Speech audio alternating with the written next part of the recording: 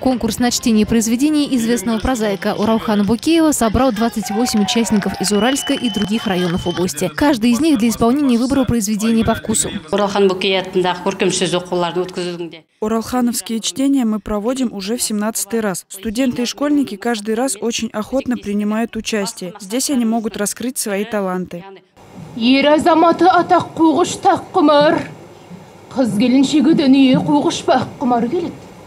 Вне зависимости от жанра, все произведения писателя наполнены смыслом, который участникам необходимо было передать в своем исполнении. В этом конкурсе я участвую впервые. Приехал я из Бурлинского района. Выбрала отрывок из любимого произведения Оралхана Букеева. Я очень тщательно готовилась, чтобы своим чтением передать содержание произведения.